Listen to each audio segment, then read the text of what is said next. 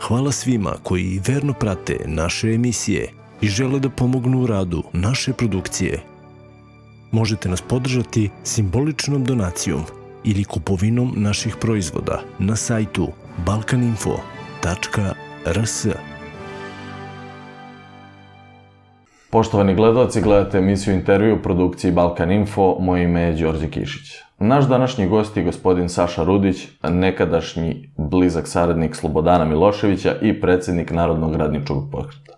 Gospodine Rudiću, hvala vam što ste gost u našoj emisiji. Da li ga kažem dobar dan ili dobro jutro, kako ćemo da identifikujemo vreme? Pa dobro zavisi, za gledalce je ovaj će biti verovatno veče. E, dobro veče. ovaj, e, drago mi je što sam, ovaj drugi put da sam vaš gost, tako. Drago mi je što ste me pozvali, pa ajde da vidimo ovaj, šta ste spremili od pitanja, da, da krenemo s akcijom.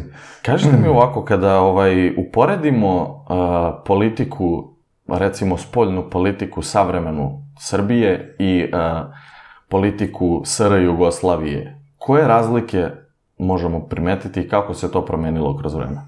Pa to je pitanje za, za, za Nikolu Šajinovića, nije za mene. Šalim se, ovaj, e, pa sad nema politike, to je razlika. Mhm. Sad nema politike, ovaj, tad je bilo politike. Znači, u skladu sa tom politikom bilo je nekoliko zadataka koje, koji su morali da se izvrše od strane a, visoko pozicioniranih političkih ličnosti a, Republike Srbije, pričamo sad o Srbiji, ne pričamo sad o Jugoslaviji, ovaj, jer sve vreme je taj srpski korpus bio smetnje i trno oko, nije, nije jugoslovenska, nije, to, to nije postalo 1918.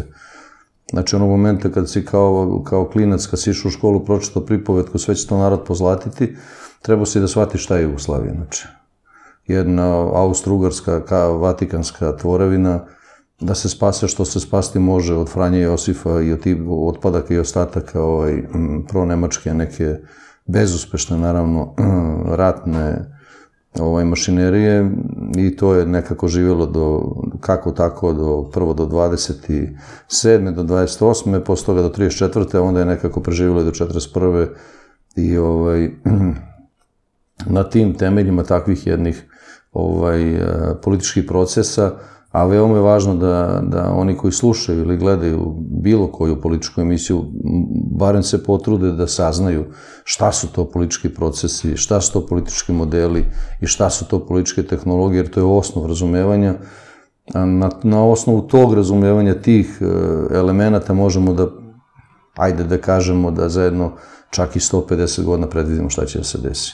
Dakle, sad trenutno mi nemamo politiku, tako da ne možemo da poredimo ovo ni sa čim.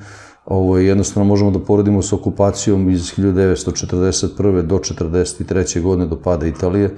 Ovo je, I to je neki, tije, tije neke dve godine nisu reference uopšte za, za, za, za, neko, eh, za neko poređenje ili za neko razmatranje, neko bilo, ko, bilo koje periode jel, istorijske u bilo kom eh, razvoju bilo kog društva na planeti Zemlji. Eh, dakle, nema poređenja, ne mogu to da uradim. Nažalost, iako bi se stvarno ovaj, potrudio sve snage, evo sad mi u oči skaču tamo vamo, ali ne mogu da se setim ničega što bi ovde u ovom periodu nazvao politiku, osim robovanja NATO paktu, što je recimo teto karakteristično za Beograd 1941-1942, za Split 1941-1942, za Zagreb 1941 2 3 4 ovaj, do, doslo do ulaska partizana 45. i Rusa, a dakle to su ti neki, to su, to su ništa, mislim jednostavno nikakve reference ovaj, one su više karakteristične za, za nauku kriminalistiku nego za, nego za, za politiku ili za uopšte politički život bilo koje države u bilo kojoj zemlji na svetu. Dakle, nema poređenja, ali čega ima? Ima, ima, uh, ima o subjekata političkih koji su bili živi i tada i sada i koji se i dalje aktivno bave politikom. Ja sam tada u to vreme bio pripadnik a, pričaš o 90. godinama, tako? Uh -huh.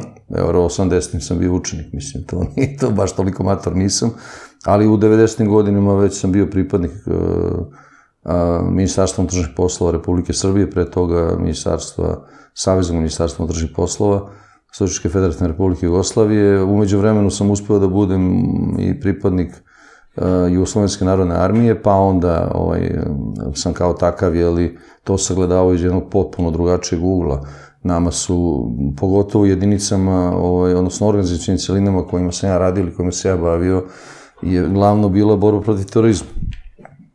Tako da ja borbi protiv terorizma mogu dosta da kažem. Ovaj, I dosta iskustva imam i dosta takvih akcija raznih tipova vrsta. Um, borba protiv opšteg organizovanog kriminala, Znači, pored, te, pored te borbe protiv terorizma, znači borba protiv opšte kriminala, znači radio sam i na drogama, i na ubistvima, i na potragama, i na razbojništvima. Radio sam i kao policajac u stanici milicije Stare grada, da tu sam faktički ovaj, započeo svoju karijeru u gradskom supu grada Beograda, ili pa je nastavio posle dalje kako je to išlo već u 29. Ovaj, popularno zvanom, tad se to zvao sekretarijat u Beogradu, sekretarijat posla u Beogradu, sad se to zove policijsku uprava grada Beograda. Uh mhm. -huh. Kažete mi, da li postoji kontraobavištajni rad, pošto ste rekli da, da politike praktično nema? Sada? Da, da li sada ne, postoji kontraobavištajni rad? Ne, ne.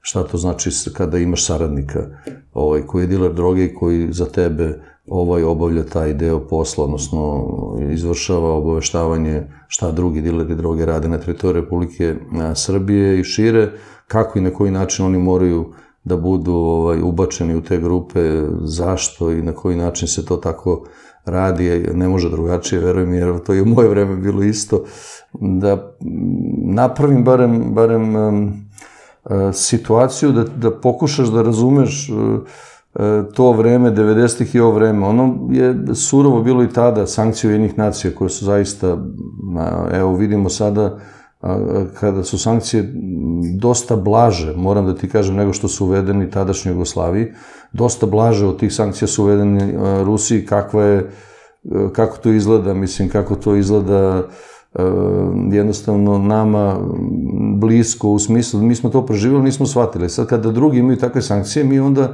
nekim refleksom iz malog mozga pravimo slike koje vidimo kao ej, pa znaš, teško je Rusima uvesti sankcije, oni mogu ovo, mogu ono.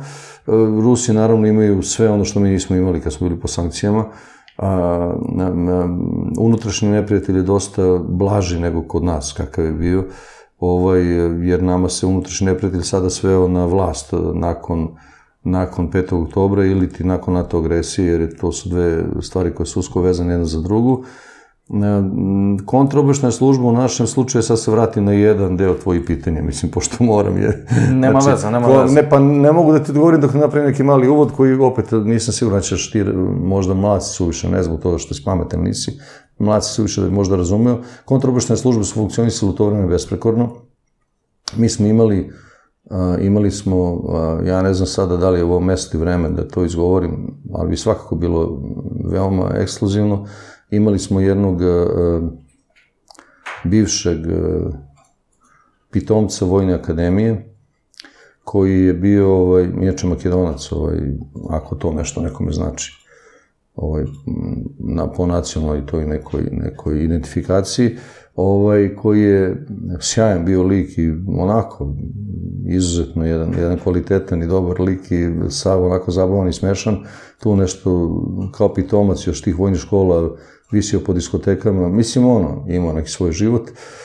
Radio je neke poznate serije ovaj, koje mi volimo sada da gledamo, bio je tu dosta angažovan, čak i glumio u nekim od njih, ovaj, E, zahvaljujući njemu mi smo, ovaj, a ne zahvaljujući nekima koje ste videli u emisiju, nažalost njega ne možete da dovedete pošto je umro, ovaj, a, zahvaljujući njemu mi smo dobili takve informacije, jer on je imao te, to elementarno znanje neko iz, iz kontraobaveštenog rada, na kraju krajeva i obuku, i mogao je da nam pribavi dokumentacije bez koji bi mi NATO agresiju pregurali dosta teže. Dosta teže i on je po meni možda najveći heroj ovaj, tog rata, jer jednostavno dostavio nam je takve stvari koje su nezamislive, da smo mi znali bukvalno šta pričaju američki piloti, kad lete, kad ne lete, kad su na pauzi, kad su u WC-u, kad su, na primjer, u tuš kabini, kad su u kuhinji, kad, znači, nevjerovatno, čovjek je bio stvarno. Eto, to je kontraobavešteni rad. Recimo i obavešteni rad. To je prikupljanje podataka i to je taj kontraobavešteni A, inače, u onom delu gde sam ja obezbeđivao život i porodicu predsednika države, i to nije malo trajalo, i to je ovaj... Evo, tu sam donao jednu godišnju ocenu, da više otprilike kako sam ocenjivan. Naravno da doneseš najbolji, nešto da doneseš ocenu da imaš kece, da doneseš ocenu da imaš to ne, negde, ne, ovaj, dakle, dakle, ovaj, u tom poslu je taj kontraobešni rad možda naj, najvažniji. Odnosno to šta vojna kontraobeštena služba, sadašnja vojna bezbednostna agencija, ili vojna obaveštena služba i sada vojna obaveštena agencija, ovaj, i a, služba državne bezbednosti, do kakvih podataka dolaze, onda mi na osnovu toga pravimo modele našeg rada. Znači, tako da i država na osnovu podataka isto ovo što sam ja radio malom vezano za jednog čoveka, država vezano za celu svoju teritoriju, na osnovu uh, svih informacija koje skupe uh, naše, naši diplomatski predstavnici, pre svega ambasadori, sekretari ambasada i, i, i atašeji razni, najviše oni trgovački i, i muzički ili tako neki nebitni, oni se uglavnom najviše bave obaštenim radom, ovaj, ovi vojni, to mislim svi znaju da su vojni, neko, niko ne smije da priča, razumiješ, tamo nije ludio, ali ovaj, dakle, oni, oni donose, donose te vitalne informacije, trebalo bi to tako da bude, U našem slučaju to nije, kod nas idu ovaj, pevaljke sa Ibarske magistrale za ambasadore, razni Božovići, razne, razni diletanti tog tipa, da jednostavno od njih ne možda očekuješ ništa, recimo sad, šta možda očekuješ ti od ovoga Marka Đurića kad je otišao u Ameriku? Ništa. Šta on može da ti dostavi? Kakvu važnu informaciju, kakav važan podatak i onda smo mi tako zamračeni sa svih strana, ovaj, iako ljudi misle na primjer, Miroslav Ozanski bio taj koji je mogao da bude neko i nešto, ja mislim to stvarno mogu, samo da se nasmejem, to je više uvreda bilo za, za, za Rusiju nego, nego, nego, nego ne znam šta da smo uradili drugo ovaj, kad postojiš takvog čoveka za ambasadora. Dakle, ne stižu ti informacije, kontraobešne službe tu na kolenima, nema od toga ništa i onda se dešava to što se dešava da jedno vuče drugo, jednostavno dođeš u poziciju da razgovaraš a, sa nekim kurtijem, na primjer sa nekom budalom tamo, sa nekim šiptarom, razumiješ da razgovaraš o o pitanjima koje su veoma značajne za, za srpski narod a, a, i za srpsku državu, a da za to vreme ne pomeneš ni jedan jedini put rezoluciju 1244, kojim je američkim potpisom, potpisom Velike Britanije, znači američkim, kažem, to su američke države, potpisom Velike Britanije, potpisom Francuske, Kosovo stavljeno u teritorijalnost Republike Srbije celom svojom jeli, prostorijom, celim svojim prostorom, a ovaj, mi pričamo o nekom severu, jugu, nekim zajednicama i šta ti ja znam, nekim budalaštinama, a da za to vreme ni Amerika, ni Francuska, ni Velika Britanija nisu povukli svoj potpis. Eto, otprilike, nedostatak jednoga, a drugoga, trećega, nemogućnost da, da, sa, da dovedeš čoveka koji je školovan ili, ili koji je na bilo koji način sposoban da, da absorbuje te informacije koje mi sad i nemamo još, plus ovaj, i da ih obradi, ti dolaziš do toga da jednostavno, ako Vučić ima vremena, igraće se mali futbol danas, ako nema vremena, onda neće, a ovaj, ako stigne, onda će da ode i do Brisela, onda će da kaže, nemam šta da vam kažem, znači ja ću da podelim to sa strankom, nekad jednog dana, oni tamo naravno ne smije ništa da pitaju i svešiti se politika na to. E, to ti je poređenje politike tada i sada.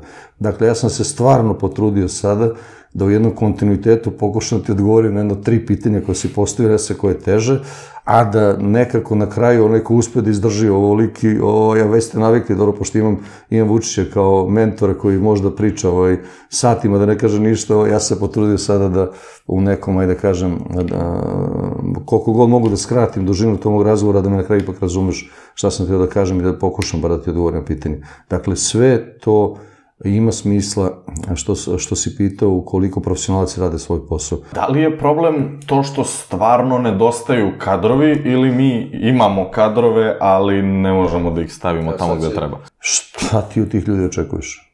Šta ti od tih ljudi očekuješ? Očekuješ neku pamet, neko znanje. Šta očekuješ ljudi koji su završili kurseve u tamo u crnim šumama, Švarcval se zove planina, ako se dobro sećam, ovaj, Maršalov centar tamo, ono, završili tamo te kurseve, ovaj, isto, u isto, na istoj sto, za istim stolom sedi naš budući general ovde u general štabu, jedan, drugi, treći, ih ne, ne nabrajamo Zvaka Ponoša pa novamo, i, ovaj, i, i sedi onaj šiptar koji treba da, da ubije decu pored reke u Graževcu se kupaju tamo. Ono njega uče ovo, ovog uče ovo. A sede tu u istoj prostoriji. Zajedno ruče, zajedno se druže Li uveče vode ljubav zajedno, stvarno ne znam, te podatke nemam, ali moguće i to. Dakle, šta ti očekuješ od tih ljudi? E, šta ti očekuješ od tih ljudi? Pa naravno da će da, da rade najgore što mogu. Znači, to, su, to je metodologija, znači, postoji jedna, jedna ozbiljna, jedna, jedna disciplina naučna, a zove se metodologija rada stranih obaveštenih službi. Znači, ona ima svoje, kako da kažem, svoj uvod, temu i razradu, jel? kao i svaki pismeni zadatak, tako i ta knjiga, ako, ako je svedemo to, ali to je jedna naučna disciplina, metodologija rada stranih obaveštenih službi, gde su, gde su recimo svi metodi rada stranih obaveštenih službi uh, otprilike sabrani na jedno mesto i da ti možda vidiš po oblastima, po regionima, po vrstama delatnosti, po, po načinu, mislim, evo imao si tima Maršala, na primjer, koji je razrađivo naranđaste revolucije. A imaš sada ti maršal i kako je organizovao otpor u Srbiji. Kako je Soros, ne znam, dao 100 miliona, bla, bla, bla, bla. I e, to se zove, to se zove tajni, nevidljivi, specijalni rat i psihološke operacije, taj deo. Kome ti pričam? Toga ovdje imaš koliko hoćeš. Mi pričamo sada o ratu na Kosovu. Koji rat na Kosovu? Je počeo rat na Kosovu? A čitaš novine naslovne strane. Pa ko je te naslovne strane napravio? Ko pravi te tenzije? Je li počeo rat na Kosovu ili nije? Daj rešimo prvo to. Ako je počeo rat na Kosovu, gde je naša vojska? Ko ima interes da to, da se to objavi? Pa naravno, zna se, zna se Pahil. Zna se ko je predsjednik ovde vlade? Pa Amadeo Watkins. Pa nije sigurno Aleksandar Vučić i Ana Brnabić. Se ko vodi to. I tako dalje, i tako dalje. Dakle, ti sad imaš jednu situaciju, ovaj, takvu, da kad postojiš takvo pitanje, ja na kraju mogu samo da se iznerviram i gurnem kao sve, kao to što ljut. Nije naravno tako, ali jednostavno teško je to, ovaj, pogotovo ako neko izgovori sa mojom biografijom, onda je tu obavezno, ja sam i Udba, i Slobin, ne znam, i odmah sam komunista, naravno, niti ko pita ko mi je otac, majka, deda, to bož sačuje ne ovaj, a, a, a jednostavno, jednostavno, sloni smo da lepimo te etikete i onda od njih na kraju ne vidimo ništa. -huh. I Kako to... moguće da a, Republička izborna komisija ne radi na dan izbora? A, ti ne znaš, a ja ću sada ti kažem, ja sam bio predsjednički kandidat kad je predsjednik prvi put izabran a, u vidu Aleksandra Vučića, predsjednika Srbije. Hoću ja, brate, što ne, ajde. Ne, ma znam ja da nemam šansa. Ma ne, to ne možeš ti onu mašineriju da pobediš. Nemoj sad da pričamo sad da bih ja pobedio. Ne, ali sam teo prvi put učestvujem i da uđem u istoriju kao je to kandidat za predsjednika Srbije, pa sa šta mi Bog da. Pa naravno da sam ja pre toga mesecima organizovao skupljenje potpisa. Pa naravno da sam ja pre toga sve pripremio za to. Da sam našao nekog nesretnika koji je izdvojio neke pare Joj, brate, na kraju mi bilo žao da mu uzmem, da krajem daj jebale te pare i to za to sve pustim na, na bolje da ne budem ništa, nego, mislim, šala na stranu, stvarno je tako bilo. I, ovaj, uh, i krenem ja u prikupljenje dokumentacije. Te odem u MUP, tamo treba ovo, treba ono, daj mi ljudi te potvrde to, da nisam ovo, da nisam ono, odem u sud, da nisam, ne znam, ovakav i onakav, I sad treba da prikupljamo potpise. Notar šalje odgovor, nema vremena za nas. Ne može da nam overi potpis. I sad ja u šoku. Čeče izbori, ne, nemaš ti tu sada prostora, ne znam koliko je ono vreme predizborno, ne znam, možda bilo mesec dana, ne, ne sad setim tačno za te izbore, baš koliko je bilo.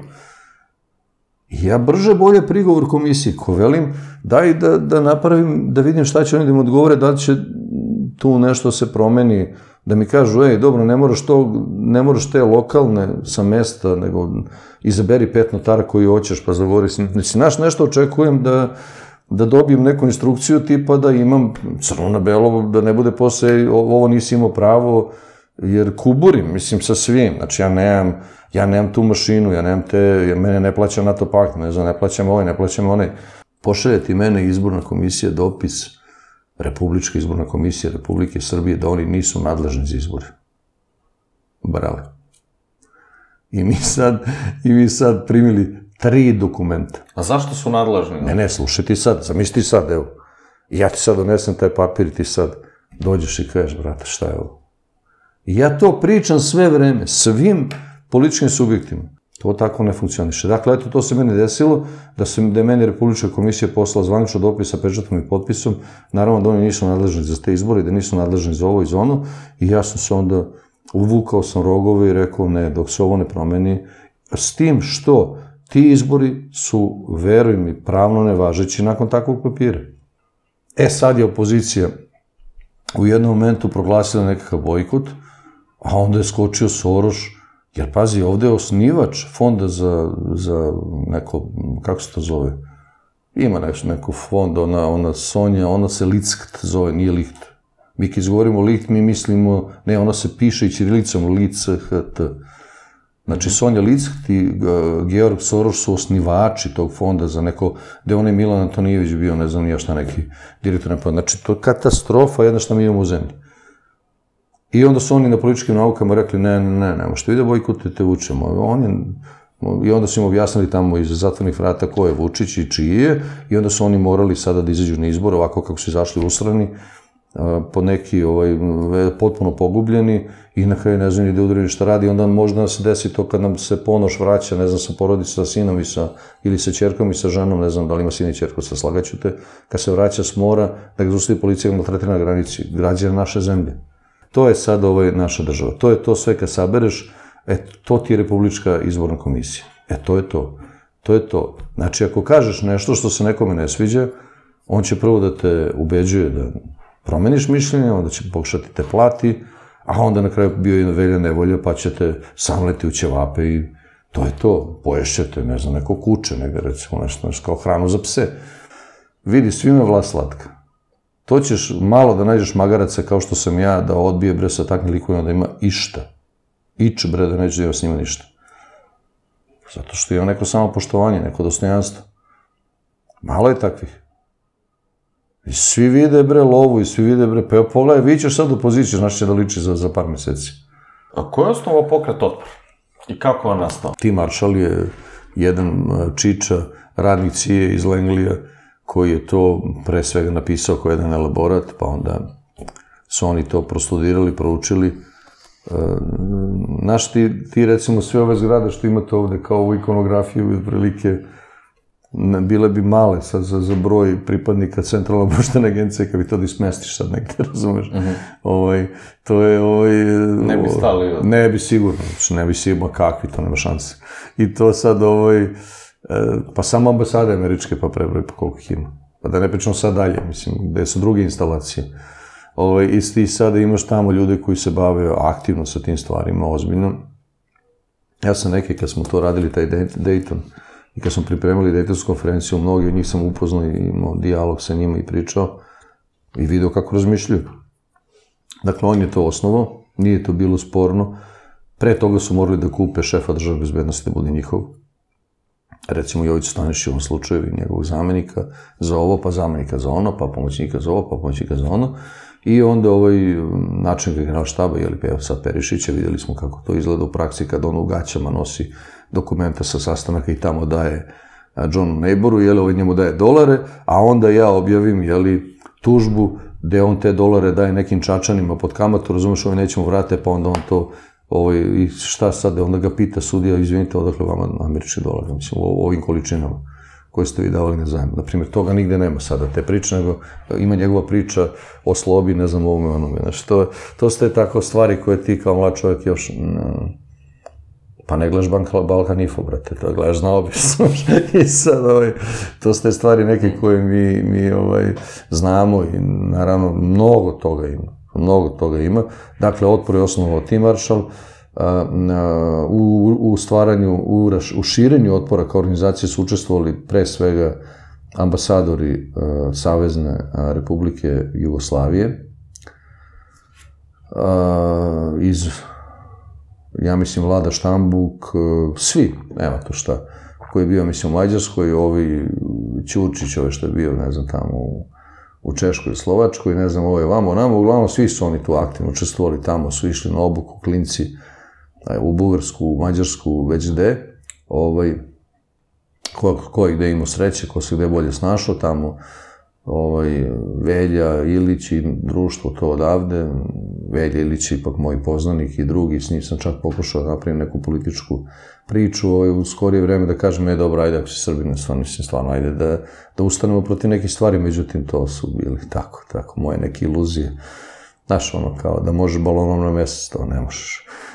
ali moraš da probaš, pa neki idu pičkom materinu. Uglavnom, tako se ta organizacija uh, uglavnom je utemeljena uh, i pod zaštom bila služba državne bezbednosti iste te Republike Srbije, znači isto tu je već stanišće tog društva, a, a, prilično onako jedan, jedan, jedna podlost velika te službe koja nije sačuvala ni jednu državu, sve ih je uništila, uništit će i ovo, verim. Evo, isti ovi koji se sad kunu u Vučića, on, nemoj da sumnjaš uopšte.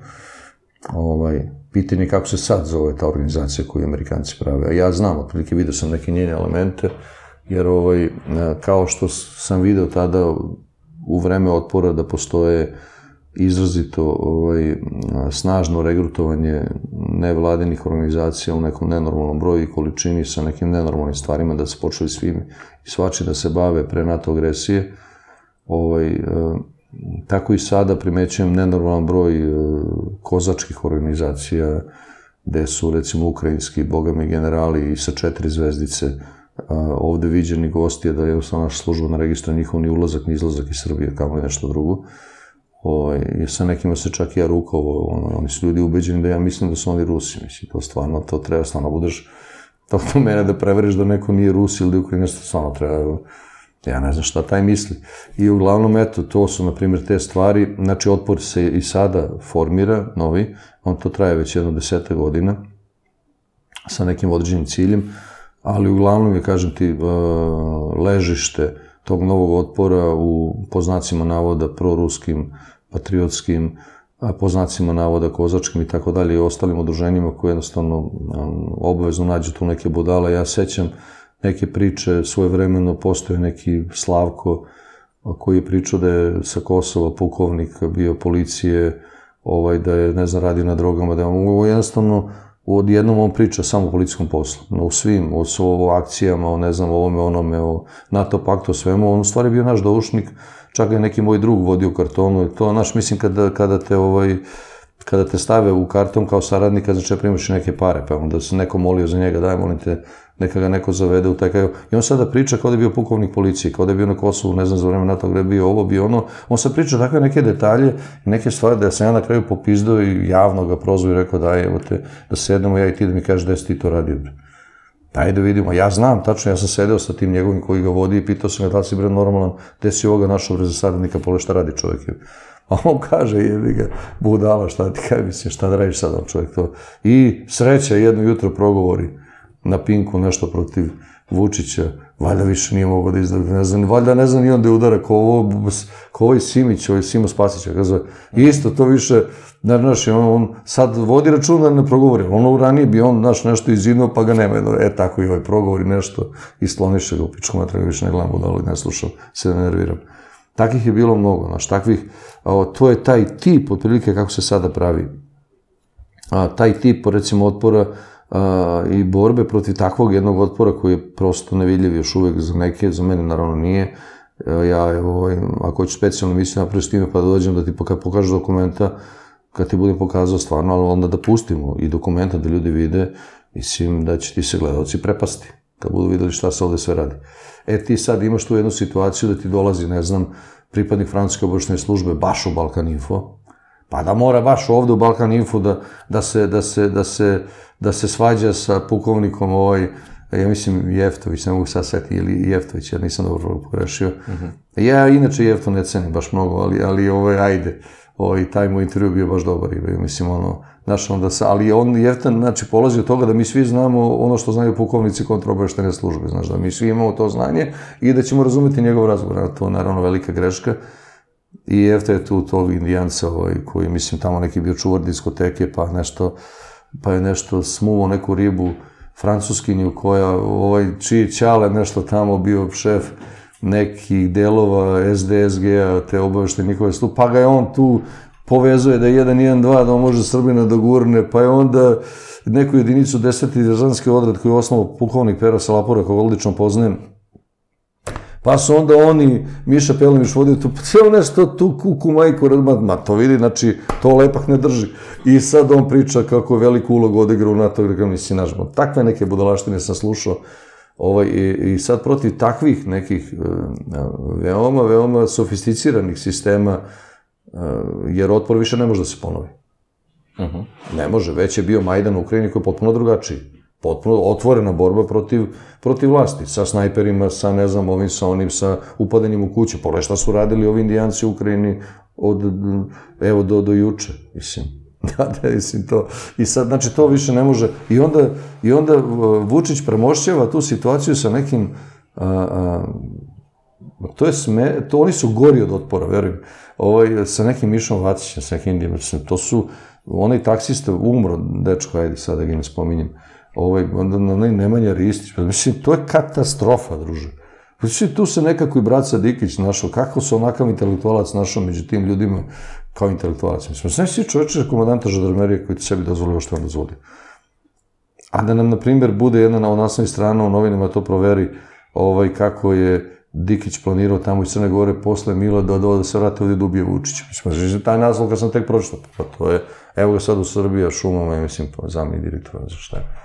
Znaš, kao ipak, ipak mora na kraju, pa, pla, pa plata je, to ipak, zna se onda ko je organizovao celu tu priču. Više nego očigledno. Dakle,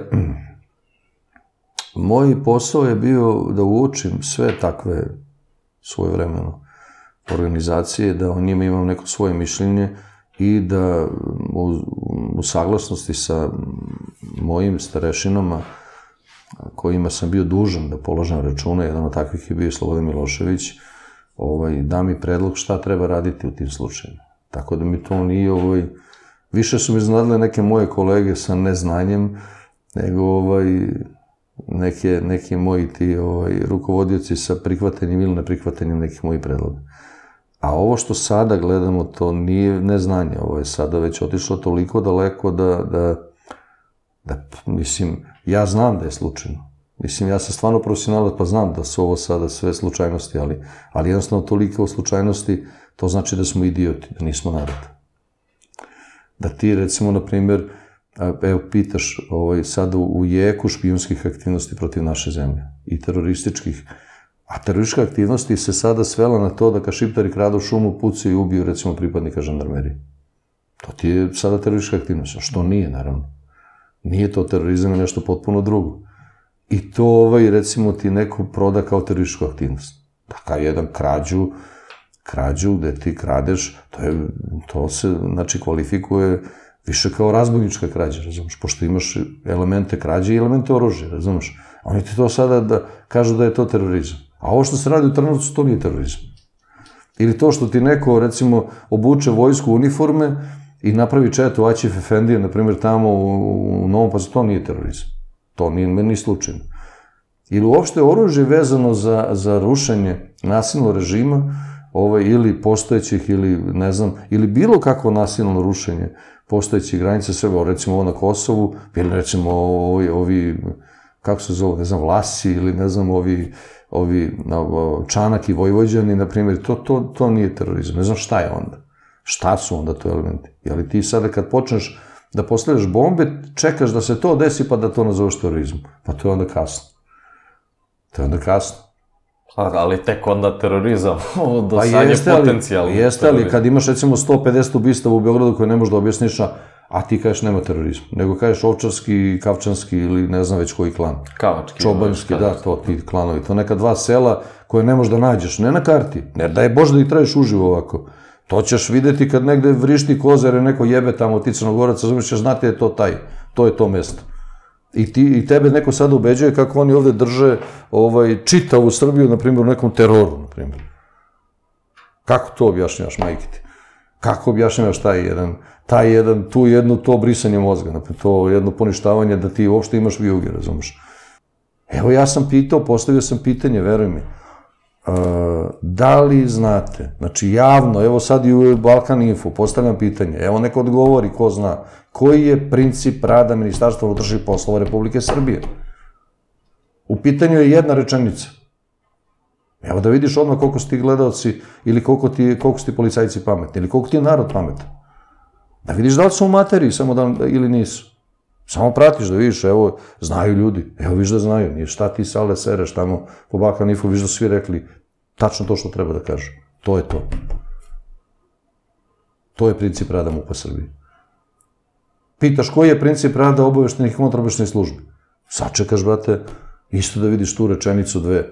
Ali šta, ka, evo, viš da znaju ljudi, šta ti mutiš tamo vodu po Balkan Info, tamo nešto postaveš neka pitanja, kao neće da odgovore. Evo, viš da su odgovorili. Pa ćeš onda da vidiš, odmah će biti jasno, desi u kojim si vodama. Tako i meni stvarno, ovo je strašno kad se nešto desi, a ja znam da je to krivično delo, a, na primjer, tužilaštvo ćuti. Čemu služi onda ova emisija? Mom egu, li, da ja pokažem kako sam ja neki mnogo pametan baja koji sve zna koji se ničega ne plaši, ili tvoje gledanosti. Ne, ni jedno ni drugo, mi nemamo nikakvu funkciju. Nikakvu. Nikakvu. Zašto? Zato što, zato što onaj društveni subjekt ili element koji bi prvi trebao da pregleda ovu emisiju, on pitanje da li će pogledati. Ili, ili da ga namoliti uopšte da, da čuje šta smo i ti pričali ovde. A to je a, tužilaštvo. Ko prepozna glavnog tužica u Srbiji, ne znam, dobije ovaj automobil Punto Grande i ne znam, ne znam, dobije čokolade koliko je težak i šta ja znam. Nisi vidio, bre, te ljude, što je za škosu. A, kažete mi, ko je, a, a, ko je zapravo odgovoran za, za 5. oktobar? A, služba države bezbednosti sa bivšim načelnikom Jovicom Stanišićem pod jedan, američka ambasada pod jedan i po, razumeš i tako. A, o, a, taj 5. oktober je spreman godinama. On nije spreman da bude baš taj dan i da bude baš na takav način izveden. On je spreman godinama, Uh, godinama si ti imao jednu situaciju da imaš Vuka Draškovića, da imaš uh, uh, Koštonicu, da imaš Zoran Đin, nisu oni, nisu oni rodili 5. oktobra i 4. pa onda ti ne znaš ko su. Pa su bili beznačajni likovi, mislim, dok vojska, dok nije Jovica digao ovaj, ovo je, dok Pavković nije to sa vojskom ovaj, se napravi blentav, razumeš, ili ovo znači nije se sačuvala država, jednostavno, su mogli, znači dobili su u četvrtak ili u sredu, ne znam, reče, rečeno mi možete radite pre što hoćete i to je to. Ja se sećam kad je Koštunica išao u Lazarevac tamo, u one kopove, gde je ustao narod i obustavio struju Beograda, to je bilo pre 5. oktobra, ako sećaš, ne sećaš se, ne znam kako si godina, i ovaj, i oni su svi ustali listom protiv Miloševićeve diktature i tako dalje i tako dalje, i šta se desilo? Ovo, evo i sad e, raselili. Nema, sve kuće srušene. Najlepše, najbolje, najovo, ono, nema, više ne postoji. Ne postoji čoveče tamo od, od, znači, od Lazarevca do Beograda to parče, je sve će da pre, prekopaju.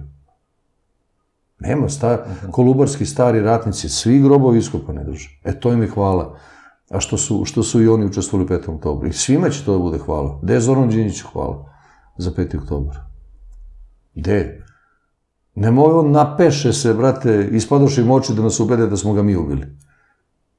Pa koga smo mi to ubili? Ko je taj koga smo mi ubili, majke ti?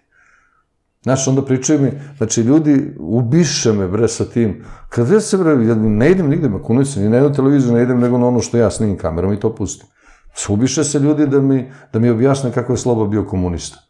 Ma mi nikada nismo imali predsednika Srbije koji je sin pravoslavnog sveštenika osim Slobodana Miloševića. Nikad. Nikad. Ama nikad.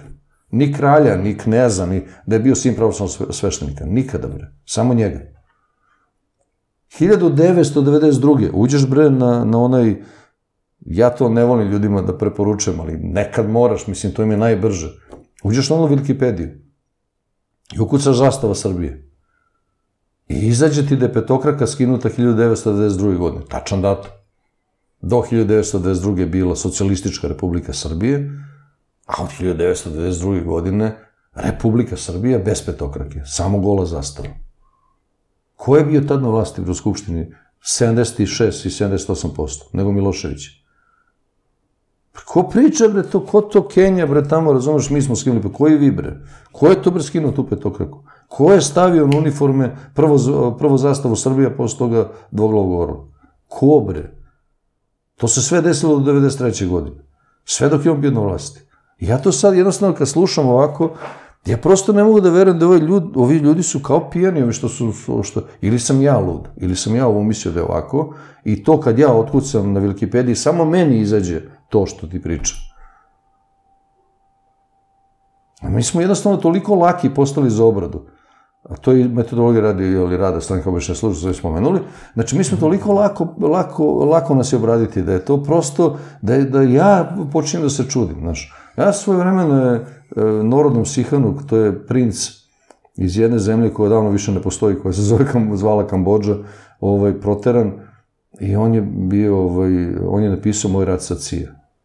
Čovjek uspe da napiše tu knjigu, koje je stvarno upustvo za razumevanje šta to CIA radi, jer meni je uvek vjetnamski rat bio um, nekako reper, reper za, za to kakve sve strahote CIA možda napravi nekoj zemlji kad hoće da uruši na režim ili kad hoće da je porazi ili da je osvoji. I tu je stvarno Vjetnam bio nekako ajde kažem, stvarno, stvarno neka zdrava referenca, zdrava je pogrešna reč, ali naravno, ajde neka referenca da možeš tačno parametre da utvrdiš šta rade, kako rade, kako oni su, čoveče, ta organizacija, oni su neprijatelji čovečanstva čitavog. Oni nisu prijatelji ni jedne države, pa ni svoje.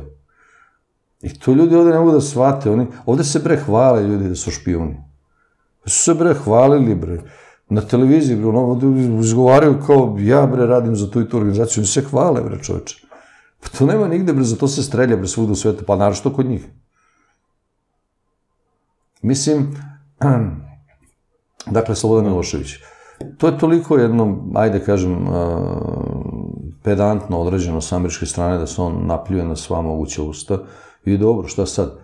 Šta da pričamo za Vuka Draškovića, njegovog oponenta, li političkog, koji, ovaj, ne znam sada kaže da je za sve stradanje Srba u istoriji kriva najviše Srpska pravoslavna crkva. Znaš ti tu bitangu?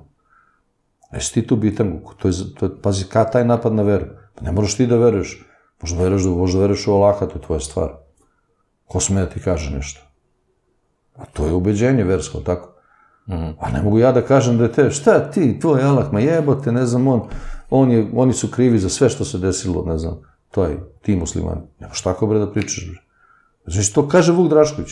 Taj četnik, razumeš, na primjer, taj, taj sve do onoga nepismenog, razumeš, što viče, što ne znaš da li je s vama ili za vama, razumeš, ne znaš gde, je pošao, gde je krenuo. Mislim, užas jedan. Užas jedan. Te, bre, onaj, onaj patuljasti kepec, razumeš, onaj, onaj Aleksandar Karđođević koji je 1918. godine napravio Jugoslaviju, čoveče, to, to, znači ti Srbe posle takvih strahota da im obrišeš sve pobede, sve ono i napraviš neku državu koja je zlo. Je li on pionir među tim stranim agentima? Pa nije svakako. Nije ti kad pogledaš koliki je broj atentata bio na Obrenovića, ti bi se zgranuo. Dobro, mislim, ja znam da tebi to nije profesija, ali meni je bila, pa sam morao da, da se bavim, znaš. Ti bi, ti bi se zgranuo, kad bi vidio se... I načine na koji su pokup, to je stvarno mi smo puni toga, razumiješ. Kažu ljudi da je ta takozvana, jeli, pretorijanska garda koja, ono, postoji još od, nemam pojma, od Apisa. Ne postoji od Apisa, no, pretorijanska no. garda je pojam koji je vezan za rimsko carstvo, znači. Da, ali oni metaforički tako nazivaju našu ovaj, službu koja je posle bila služba. Pa vidi, Apis nije bio taj koji ima veze s takvim stvarima. Ne, on nema veze s takvim stvarima. Znači, ne treba sad od tog čoveka praviti ne treba ga idealizovati ni u jednom smislu. On je bio jedan podpukovnik koji je postao pukovnik. On je bio podpukovnik za vreme Aleksandra Obrenovića, a postaje pukovnik za vreme Aleksandra Karadžođevića. On je jednostavno revoltiran odnosom Obrenovića prema samom sebi. Jer oni nisu mogli prvo da veruju da je ovaj, Aleksandar Obrenović je oženio Drago Mašin. Pravo to nisu mogli da veruju. Ne zato što je ona već imala muža, nego zato što u tom braku nije mogla da ima deci i to se znalo. I oni su, Bože moj, Apis se pojavio u početku kao zaštitnik Obrenovića. A to su ti, kao što sad imaš zaštitnike Vučića, recimo u vidu svih onih gomila idiota u Skupštini, koji, e, recimo, celu sednicu o budžetu vlade provode, pro, provedu pričajući o Đilasu. I mi na kraju krajeva ne znamo ni šta su usvojili na kraju te sednice. I su sve vreme pričali da je Đilas ovakav i onakav. A niko im ne odgovara. Pa kako da im neko odgovara kad sami sede i pričaju samo među sobom, razumeš? Mm -hmm. Kao evo sad ja i ti opet imamo neki, barem neku pristojnost da ja saslušam šta me pitaš, pa šta će da odgovorim ti, a ti sad opet da me vratiš, ako, ako si pravi novi ti ne daš mi da lutam, mm nego vrati, a to tamo nema. Dakle, dakle, Apis je bio to. I onda je na kraju toliko ovaj, zaštitio Obrenovića od Obrenovića da ga ubije. Organizovao njegovo ubistvo. Ali nije on organizovao, bilo je tu dosta njih. Bio je tu ministar Genčić, bivši unutrašnji poslova, koji je bio zatvorno u Požarevcu, pa pušten iz zatvora, pa ne znam, bio ovaj, bio onaj. Naravno, a, jedini čovek koji je pokušao da izvrši atentat na njegovog oca, a, znači jedini atentator koji je osuđen pravosnažnom sudskom presudom za taj atentat, gde nije uspeo da ubije Aleksandrovog oca Milana, jeli, ovaj, ti je bio Nikola Pašić. Ja ležao bre na robiji zato što je svoje ručno, on je pokušao, dokazano, sve, svedoci, svi. E, to ti Apis uradio.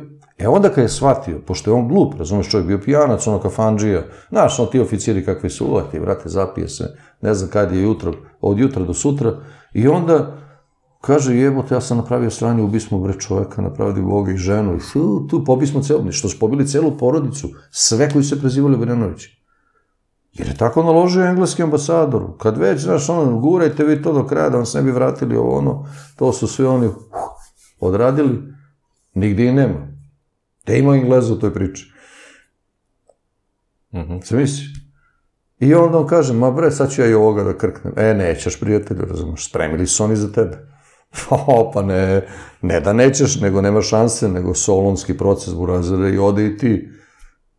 Da, a majski Jedino Beograd... se Mišić provukao, znaš. Jedno se Mišić tu provukao, uh, Vojvoda, jer teško je tako profesionalca, evo, uništili ga, prodao sablju, prodao ordenje, nimo leba da jede, pa još i njeni, Luizini, ja, i oni Nemci, kao deće za ovog Srbina, vi kakav je, žut nikakav, nema metar i po, razumiješ, ovo ono, i, ali jebi ga, evo, on jedini prežive to. I na kraju ga ipak, znači, i njega, pa ti Vojvoda putnik. Šta ti znaš o Vojvodi putnik? Čovjek, bre, tamo, bre, razumeš, godinama ne može da se sahrani u Srbiji, ni, ni tamo, u, u Italiji, u nekoj crkvi, razumeš, tamo u visokom prizemlju, razumeš, ga drže, ne zna šta radi s njimi, na kraju, na kraju Francuzi prete da će da prekinu diplomatske odnose sa Srbijom i onda mi moramo da sahranimo vodu putnika koji... Znači, sve što je bilo srpsko, ovaj nije mogo očima da vidi kraj Aleksandra. Sve što je bilo srpsko. Pokušao da napravi Jugoslovensku crkvu od Srpske pravoslavne crkve. Ni to mu nije uspelo, tamo mlatio one sveštenike. To su bile strahote neviđene. Neviđene. To ljudi sad ne shvati, kad mi neko pomene tu Jugoslaviju, ja sam naježim, verujem. Znači, jugoslovenska vojska u otažbini Draža Mihajlović, nema mi pominjete, bro, što samo što je srpsko me zanima, bro. Ti što su prihvatili Jugoslaviju, znamo kakvi su bili i šta su bili. Jasno mi kao dan. Uh -huh. I druga stvar, koja je to Jugoslavija opstala? Koja? Nijedna. Pa naravno, pa neće ni opstati. To je iluzija jedna koja služi samo za nas budale da ostanemo potpuno bez Srbije. Potpuno, znači. Postoje li ozbiljne neke indicije i neki ljudi koji ozbiljno rade na nekoj novoj Jugoslaviji? Pa, Vatikan uvek radi ozbiljno na novoj Jugoslaviji.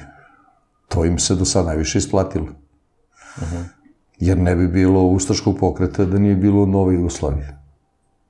Ne bi postojao ne bi bilo mogućnosti da nije bilo te Jugoslavije, zamisli kraljevine Srba, Hrvata i Slovenaca, jebote, nemoj da me zajebaš, se stvarno, čuješ bre, to je, znači ne, to su, kako ti kažem, to su politički procesi, to je jednostavno politički modeli koje mi moramo, mislim, hteli, ne hteli, ako pričamo već o tome, moramo to da poznajemo malo. Mm. A nije da. to lako, mislim. Da li vojvođanski separatizam ozbiljna stvar ili samo priča? Pa ne postoji vojvođanski separatizam. Znači, postoji uh, metodologija rada i plan stranih obaveštenih službi. Gde treba ispraviti neke nepravde teritorijalne, treba Srbijom oduzeti što god je moguće više, ako je moguće sve još bolje, a onda to rasporediti pravilno tamo gde treba. Znači, e, nije bitno Jugoslavije Vojvodina, bitno je revizija i revitalizacija Austro-Ugarske imperije. To je bilo jedno vreme pitanje. Znaš, ono iz Klagenfurta je to krenulo. Ovaj, 1978. godine je bio prvi, prvi organizovani skup, zvao se Alpe Adria. A onda je nastala banka Hipo Alpe Adria. Pa možda misliš ti sad to koliko smo mi, kako ti kažem, nezrali, kad smo to, tu banku gledali kao jednu ekonomsku kategoriju, a ne političku. A iz te političke kategorije ti je iznikao Mlađan Dinkić, Goran Pitić, Goran Svilanović, a i da i ne pobrajam, sad ima i dosta stvarno. Mm -hmm. A nekada... A niko ne zna o toj kategoriji ništa. Jednostavno, milijarde, Kipar, nešto borkava, ali niko ništa tu nešto. Svi, svi se pravimo blesavi, znaš. To je kao ono, dete ti se davi, kašlje tamo, ovo ono, i žena kaže, ajde bre, vidi tamo udavice, dete kaže, ma kao je, be, ćemo pravim drugo, ne znam, baš te briga. Ajde, tako si ti to, tako zacrto i to ima tako da bude. Eto. Mnogi su posle ovaj, dolaskom SNS-a na vlast e, pokazali kao ponovno, ponovne simpatije prema ovaj, Slobodanu Miloševiću i Miri Marković. E, e, kako to komentariš? Neće to desiti. To što ti sad pričaš, to je nemoguće. Jednostavno, oni su neprijatelji Amerike i sve što čuješ o Slobodanu Miloševiću je samo jedan od pokušaja da se oblati. Sve ali bukvalno sve. Čak i pozitivno kad čuješ, kad malo bolje, bolje obratiš pažnju, krećeš vidjeti kako da se to završava negativno. Jednostavno, Amerika ne može da ima da oprosti Slobodanu Miloševiću rezoluciju 1244 i Kumunovski sporazum. Ne može jednostavno. To, to, ne može da mu oprosti Dejtonski sporazum. Jer ta, ta, taj prostor gde je sada Republika Srpska je predviđen za, za neku drugu državu koja je trebala da se zove Herceg Bosna. I ti sada na tom prostoru imaš nešto što zove Srpsko. Pa to vidi, Pa prvi je Dodik skočio protiv Republike Srpske. On je rekao da je to genocidna tvorevina Slobodana Miloševića. Pa šta ti onda očekuješ od ovih Ustaša i od ovih tamo a, a, pripadnika Hanđar divizije kao što je bio a, Alija Izetbegović i to društvo? Šta od njih očekuješ kada ovaj govori tako? Mm -hmm. Tako da je to naš najveći problem. Znači, na, nam je unutrašnji neprijatelj, ja to rekao, čini mi se na početku ovoga, na, ovog našeg razgovora, izuzetno snažan, izuzetno jak. I sad, e, kako se mi borimo protiv njega? Pa nekad, e, vidi, nekad se meni desi da godinama ne vidim da se borimo uopšte. Nego mu čak i pomažemo masovnim nekim organizovanim nekih likova o kojima niko ne zna ništa. A, a ja sam ovde u prethodnom pitanju najviše mislio, na primer, na Željka Mitrovića. On je ostao isti, samo ga nisu dobro razumeli ovi julu, znaš. Oni su mislili da je on nešto drugo. Znaš ti, ovaj, može tebi da se desi, recimo sad, na primjer, da, da šetaš kokošku na povodcu i da pričaš da je pas. Ti možeš sebe da ugodiš, ali mene recimo ne možeš, na primjer. Ja ću radi uvažavanja prema tebi da kažem, pa lep ti je ovaj pas, to viš, viš, aj lepo kukuriče, brate, ujutro, vaš, karakterično za pse. E to, ti, e to ti je Željko Mitrović. On je bio samo presvučen jer mu to nešto značilo, nešto mu je to trebalo i on je tu najviše faktički najjače temelje udario tu. A evo ga gde je sada, isto gde, su, gde može jako da, da zide i da gradi. On je tu bio uvek isti, a mi nismo njemu baš kao što je Vuk Drašković bio sve vreme takav kakav je bio. I mi kad smo pričali da je takav pojedini, ja sećam da su me, mene uvati pa mi ispio cijela kafana. Ne sme baš da, si, da, da me zove napolje se bijem. A kako te nije, šta, to je Srbin to. Ali oni ne znaju da je njegov otac Vidak tamo ubio dete zato što je bralo trešno njegovom dvorištu na putu od kuće do škole. To ne znaju, da, da su to takve životinje, ne znaš. Ili recimo da ga sumnjiče da je ubio ne znam koliko stotina dece gore na onoj planini, šta ja znam, kao, kao pripadnik neke, neke partizanske jedinice. Ljudi ne znaju, znaš, a znaju tako da čim neko stavi kokart, on viče, brate, Srbine. Znaš, to se setim onoga filma, a, a, a, a, s, um, kako se ono zvao, a, Šta se dešava u filmu? Pa, onaj, onaj Babin, što stalno marksizam nešto po univerzitetu, po fakultetu drži nedelje. Kako sam sistematski uništen E, kako sam sistematski uništen idiota, znaš, ono dolazi u Valjevo, on, I on onako, si, brate, e, on onako bradata, prilazi mu četnik, on je sa onom šajkačom i kaže, gde si, brate, Srbino viče, nije ovo brada klanja, ovo je brada, brada znanja. Razočaranja. E, i razočaranja, da. E, to je se, znaš, ono i meni, ja to stalno vrištim od svega, kaj mi na kraju bude to. Znaš, na kraju ipak bude ta scena iz filma tačna. Mm. A ovaj, ko, da li danas postoji ideologije? Jer definicija ideologije ne može da stane na 60 listova, pisanih s obe strane, i to gusto kucanih. Tako da, da sada, da mi mislimo da sve znamo, naravno Srbi, ovaj, najveći problem jeste kada je lik u Americi, koji se isto zove preziva kao jedan poznati pesnik ili pisac, napisao to o, ovaj, jednu knjigu o ideologiji koju su i Vuk Drašković i, i, i, i Vojislav Šešelj pokušali da podmetnu kao da su malte ne njihove knjige, znaš. A, to je ideologija srpskog nacionalizma, tako se zove ta knjiga. Mm -hmm. On to nije uspeo na 400 listova da objasni šta je to. Mislim, veruj mi da, da evo ja kad, ja svaki put kad pročitam negde zaboravim šta sam, šta je bilo pre 100 strana. Znači, moram se vraćati. A ovo ovaj zahteva dosta... A šta je to onda za početak? Šta je to ideologija? Ja, e, najpribližnija re, ako hoćeš u rečima da govorimo jedna reč, jedna reč na reč, ideologija bi mogla da bude mm, pa ne znam, nešto najpribližnije veri. Naprimjer, evo mi, Srbi, bi trebali da imamo neku pravoslavnu ideologiju. Da, ali kad se kaže onako ovaj, konkretnije politička ideologija... Marksizam nije ideologija, odmah ti kažem. Uh mhm. -huh. To nije uopšte ideologija, to je, znači, sada to je jedan pravac kretanja u socijalizmu. Socijalizam jeste ideologija. Socijalizam jeste no, ideologija, ali socijalizam je ideologija koja je nastala iz religije.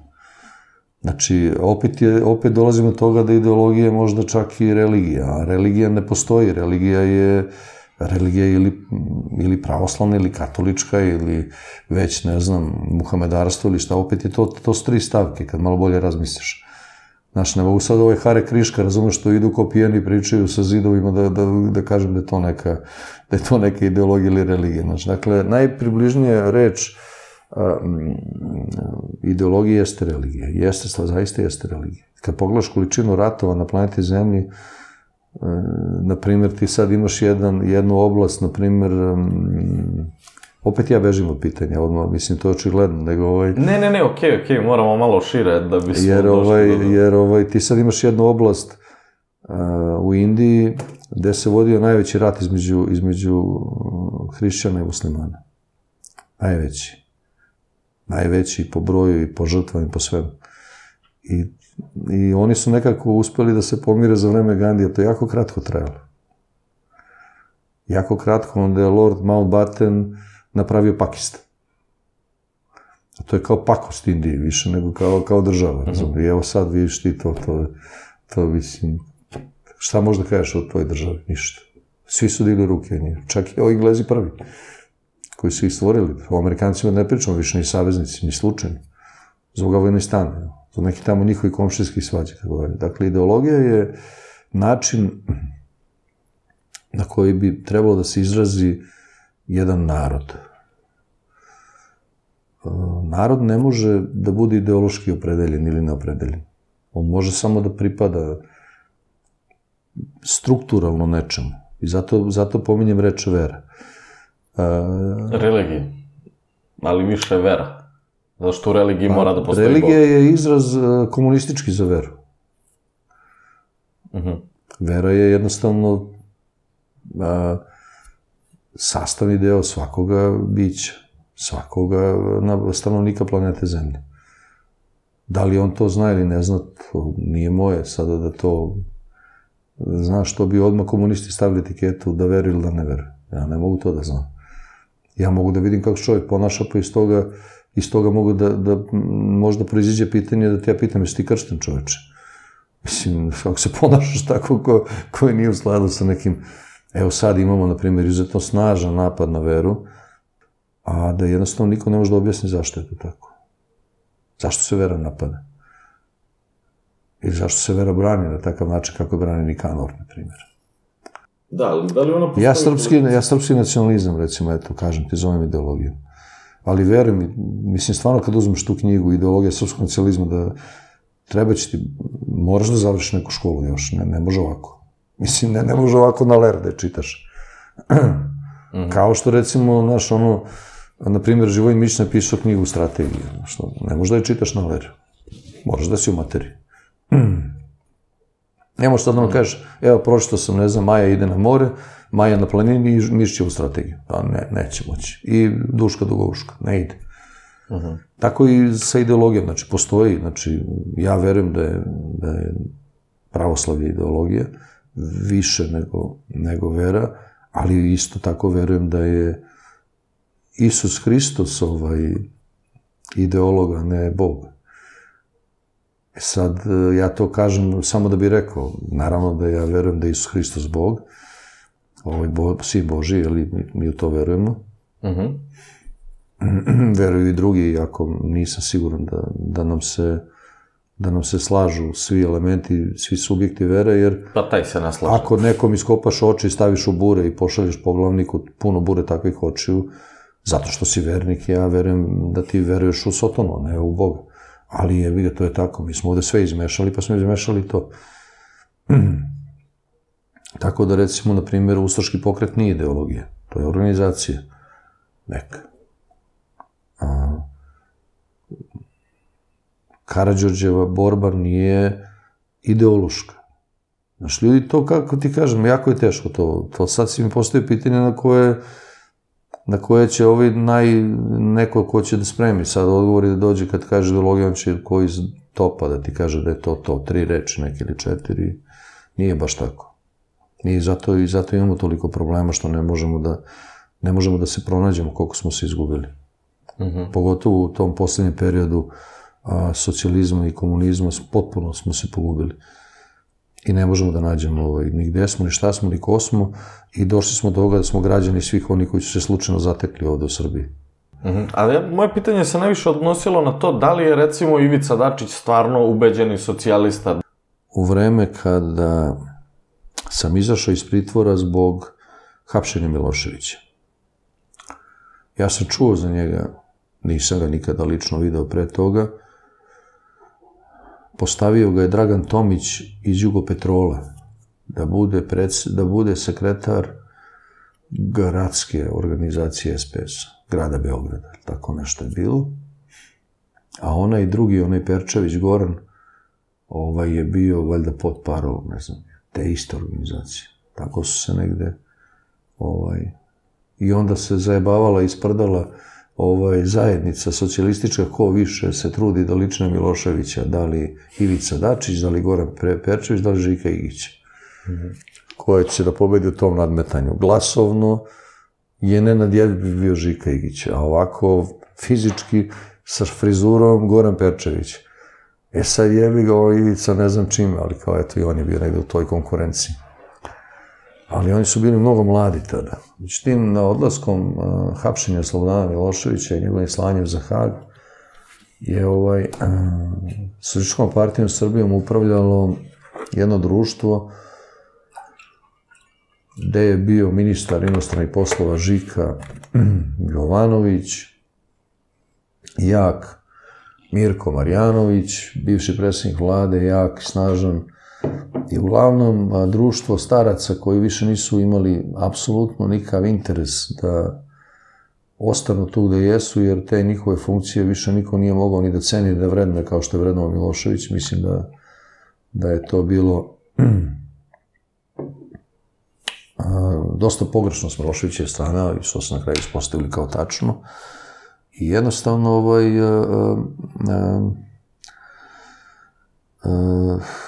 u tom nekom raspadu koji je počeo već da bude očigledan, Bane Ivković kao čovek koji je imao dosta ozbiljan kapacitet u Srpskoj partiji Srbije je počeo da se gubi, da previše instrukcija dobio od američke ambasade, i Ivica Dačić takođe da jednostavno traži ovaj, potporu u inostranstvu za neke stvari koje se dešavaju kući. To je, znači, tragedija svakog političara kada za poslove koje treba da uradi kući mora da dobije podršku iz inostranstva, to se dešava i Vučiću, to se dešavalo i Dači, to se naravno dešavalo Boris Tadiću. U jednoj takvoj situaciji kao, e, kao eksploziv odnosno kao upaljač te atomske bombe koja je kasnije eksplodirala, se pojavljuje Bogoljub Jelica, isto moj prijatelj koji je bio um, jedan stvarno van serijski čovjek po raznim pitanjima, onako, a, ovaj, međutim, on nije mogao da, da zamisli da može SPS da vodi bilo ko bez Slobodana Miloševića i znao je, Boga mi, da meri da li neko Slobodana Miloševića voli ovoliko ili ovoliko ili ovoliko. I, ovaj, I onda je on jednostavno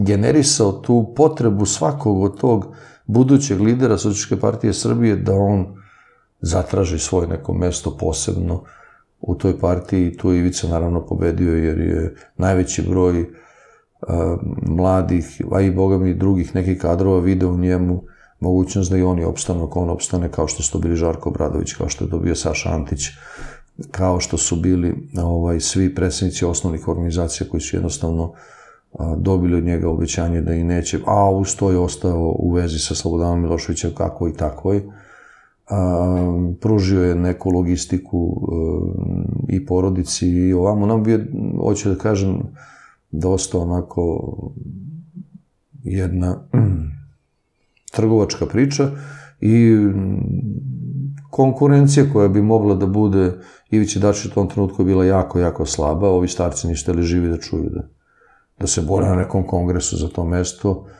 Kongres se ipak nekako zakazao.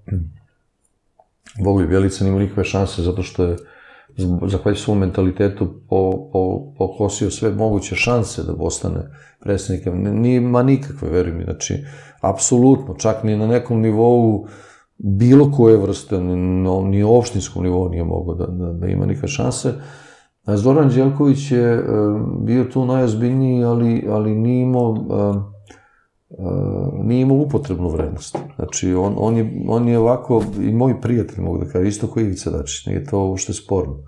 Ovaj, ali, ali on je ovaj, nije, imao, nije uopšte bazirao svoj rad na tome da on ima neku struju u Sočiškoj partiji Srbije koja bi njega podržala. On se čak borio da nema nikakvih struje u SPS-u, Zoran Đelković, i to ga kasnije koštalo od svega. Svega. Znači, na kraju je dobio nešto tipa, eto, da preživiš kao mali, znaš, ono, I on, sad, on je stvarno dobar bio, bio onako solidan vojnik. Ja sećam kad je on postao generalni sekretar SPS-a, se ljudi krstili rukama i nogama on jednostavno dolazi kod Miloševića na, neki, na neko ribanje, bre, klasično, razumeš? Uh -huh. Nema, ne, mislim, s Bakim uvijek bio problem neki, on je dosta onako svojeglav i, i ne da bre na sebe, pa može budeš ti Milošević, on zna da kaže, to može budeš Milošević bre sto puta, ja ne dam, bre da mi kažeš, bre, ti to ne, ne možeš to tako, Bak je bio takav, znaš. I sad ono, u jednom momentu, on dolazi, a, a, a, ali, ali ispred njega ima drugi gost, ima Mila Milutinović u, u kabinetu kod Miloševića. I sad ulazi Mila Milutinović i Slobo mu kaže ja sam mislio Milane da bi za tebe bilo najbolje da budeš generalni sekretar SPS. Ovo je da umre čovjek, razumiješ? Pa bre, sad bi pobegao na Grenland kad je mogao 10 godina, razumeš, u sarkofag neki, da još nikoga nađe pa da se vrati kad se sve smiri i sredi. Čilik, znači, bre, razumeš, neću da kažem onaj izraz ženski polni organ, kako se kaže, ali mislim baš i taj. Joj, ovaj ne zade sad, i sam slobodu već. Baki neće da čeka tamo, kažem, ja je da uđem, bre, pa šta ima veze, znam ja i Milana i ovo, znaš, ono, ne jebe Baki te protokole, uđe Baki, nema slobe, samo Milan. I Milan kaže, Milutinović, ej, uh, imam strašnu ideju. A Slobo je predložio mene da bude generalni sekretar unutrašnji ovaj, Socijske partije Srbije, a ja ću predložim tebe. Baki gleda, ne može da veruje. Pazi, došao na ribanje, dobio najvišu političku funkciju. Uh mhm. -huh. Najvišu, jača politička funkcija nego što je predsednik, predsednik SPS. I on gleda, ne znam, mi, sad ne znam da li neka zajebancija, razumeš? Mm -hmm. Izlazi Slobo iz WC-a, Milan Milutinović kaže, evo, e, drug Baki je došao, e, došao predsednik da mi njega, ja bi njega predložio. I sad Slobo je, znaš, bio dosta pragmatičan u tim situacijama, kaže, dobro kad ti kažeš, kao u redu, znaš. E, to ti je, to su ti istine te, znaš. I sad, dobro, Baki nije, nije bio zaista, bio izuzetno, možemo i njemu pričamo šta god hoćemo, ja mogu da pričam, naravno, mnogo više nego neki drugi, a neću, Baki je bio ovaj, uh, taj lik koji je mogao, recimo, na primjer, da, da razjebe stvari, da on bude predsednik Socialističke partije Srbije do danas, međutim, on nije teo da se stvari političke struje, on je shvatao šta znači jedinstvo još kad je bio dole, on je bio na Kosovu dole, druže. Sva ta sranja kad se dešavala, on je, njega je partija poslala dole, on je bio dole.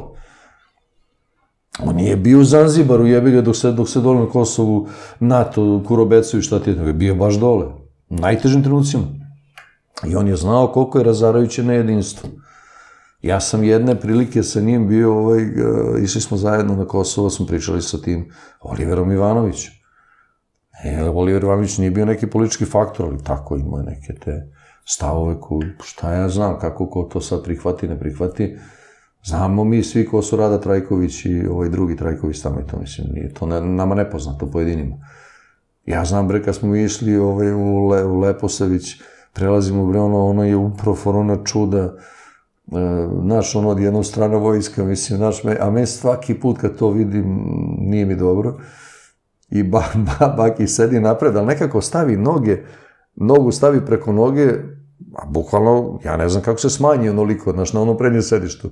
I da, ali to nikome ne smeta, znaš, ni vozaču, onaj koji nas vozi, niti bilo kom, i on se okreće nešto kako priča sa mnom, e, da te pitam nešto, kaže, ponese li ti pištolj, ja kaj mi jebo ti ovako, jebo ti ja zaboravio, ostao mi u kolima, ne jedan nego dva. A više, baki, pa će sve, sad će sve da nas rokaju zbog tebe, razumeš? Onda, ono stvarno prolazimo tamo ni pretresuje ni šta je. Prođe smo tad. Kažete mi za kraj, ovaj, umeđu vremenu od vašeg poslednjeg gostovanja uh, snimljena je serija, to je emitovana je serija Porodica. A, viš da se ja doneo svesku. Dakle, dakle, serija Porodica. Jeste, jeste, to si ti, ovaj, nisi mi rekao što me pitaš. Nisam. Ali ja sam ovo donao zbog nekog drugog, evo, zapisnik o saslušanju svedoka, šta je Milenković Senta izjavio na sudu. To u porodici, u seriji porodice, pogledajte ovo, to u seriji porodice nema. Znači, istražni sudija potpisao, tužilac potpisao ovaj zapisnik, potpisao moj šef Milenković Senta i potpisala zapisničarka Ana Stanišić. Stančić, izvini. Pa onda. Slobodan Milošević. Slobodan Milošević izjavio na sudu, pa šta je izjavio? E, njegov potpis, zapisničar, istražni sudija, tužilac. Sudija. Četvor. Mira Marković izjavila na sudu, to je kad sam, kad sam ja bio u zatvoru, oni sad izjavljuju za mene, za moj slučaj, što sam ja bio u zatvoru. Čuj, Ona ima Nasivić Branko, što kažu. On je što je pravio koridor da očisti od policije da može lege da dođe da ubije slobu kao zec. Taj. Taj, pogledaj. E, čovjek šta je pisao. I on sad priča, ja sam ovo. Šta ja pričam, sve si napisao, bre, ovde, razumiješ? Ono mnogo da meljaš, bre, i da sereš tamo. Pa onda kaže ovako, pokrajac Miloš, taj je zamenio Sentu na mesto načelnika. Pa onda kaže ovako, Milovan Bojević, komandant gardijske brigade, jedna izjava. Ćosić Radomir, taj zamenio Milovana Bojevića, pukovnik. Njegova izjava. Žika Igić, pa njegova izjava. Slavica Đukić Dejanović, pa njena izjava. Pa kaže Siniša Vučinić, pa sad tu imeno deset izjava. On nešto, nešto dodavo, oduzimo jedna, druga, treća, pi, evo to, ko će da prati sve. Filipović Dragan, izjava. Pa kaže Rudi Saša, moje izjava. Pa onda kada vidi moja optužnica, burezere, kuniti se. Znači, pogledajte ovo šta je listovo. Pogledajte što treba, treba, što treba da smisliš, bre, razumeš da ovo sve napišeš ovako protiv mene. Dona poštar ovo, ja mislio poslala mi tašta bre kolače i nešto, ba ih i mile bre, razumeš. Bo paket je, te rekao šta je bre, kakav zajebancije. Kaže, pravna pouka. I to tek sad vidi moj pečat. Ti bre u pečku, Kaže, drugi opštinski sud u Beogradu optužnicu protiv Rudić Saša. Pa, brate, rašarafili, druže. Jebu oca, jebu majku. Mislim, Jesi ti neko uverenje da vidiš da sam bio za vreme NATO agresije angažovan sve vreme, svaki dan, dan noć nisam dolazio kući. Uh -huh. Godišnja ocena. Evo, kaže, ističe se, potpisao sem, to vidiš. Mm. Kako to lepo izgleda. A nema ni ona, nema neka lošija godišnja ocena? Nema, ne, ovo mi najgore, ima našto se stiče, ističe se. Ja sam teo da donesem što goru i tražio je stvarno, od ove lošiju nemam. I evo, potpisao rešenje, Radovan Stojičić Bađa. Ne može da ti potpiše to rešenje kao, kao načelnik jedinici i tako dalje. Tako, evo moj prigovor. Moj prigovor na ovu optužnicu što se vidi. Kaže da ću ja da demaskiram onu bandu i postavlja se pitanje ko su ta službena lica koja državni tužilac ne imenuje u svojoj optužnici, na osnovu koje, kojeg akta se preduzima eventualno službena radnja. Zašto ta tužilača službena lica nisu kontaktirana kontaktirali radijsku brigadu i traka, traka, traka, i da ću ja da demaskiram tu maskirnu bandu. To ti je moj, eto, prigovor, stoji tamo u sudu, sve ništa.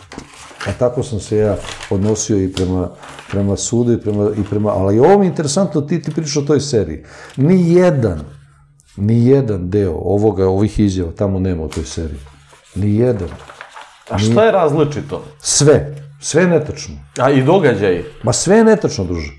Znači, vidi, sve je netačno, osim da je tačno da on je tamo igra Slobodana Miloševića. O sve ostalo je netačno. I sad ja kažem, pazi, pored ovoliko izjava različitih, imaš ti tu izjava drugih nekih likova koje nisi teo. Že te donese sad ovde, ćeš kažeš, vidi ovaj bre ludak, bre, de, te, e, brate, te zamolim donesem samo papire za emisiju neke. Kažeš, bre, e, ne radimo.